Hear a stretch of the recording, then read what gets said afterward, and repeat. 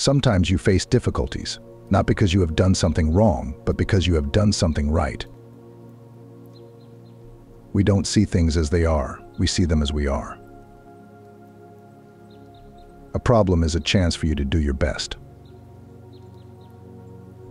I am struck by how sharing our weakness and difficulties is more nourishing to others than sharing our qualities and successes. The only place where your dream becomes impossible is in your own thinking. A successful man is one who can lay a firm foundation with the bricks others have thrown at him. You can waste your lives drawing lines, or you can live your life crossing them. Change is never painful, only resistance to change is painful.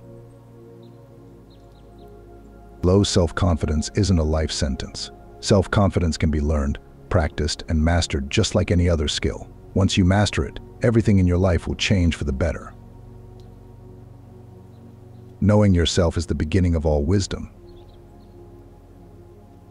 The only real prison is fear, and the only real freedom is freedom from fear. Be brave to stand for what you believe in, even if you stand alone.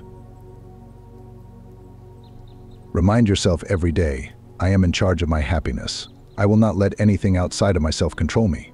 I am creating a life that feels good on the inside, and it will turn into experiences that are good on the outside. Difficulties are meant to rouse, not discourage. The human spirit is to grow strong by conflict. You may have to fight a battle more than once to win it. If there was nothing wrong in the world, there wouldn't be anything for us to do. Life is either a daring adventure or nothing at all. Courage doesn't mean you don't get afraid. Courage means you don't let fear stop you.